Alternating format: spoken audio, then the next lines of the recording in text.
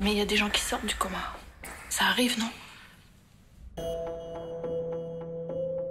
Oui, mais dans le cas de Simon, c'est tout à fait impossible. Cette situation nous permet d'envisager un don d'organes. Il y a peut-être un chemin qu'on peut faire ensemble pour, pour trouver la réponse juste, celle de Simon.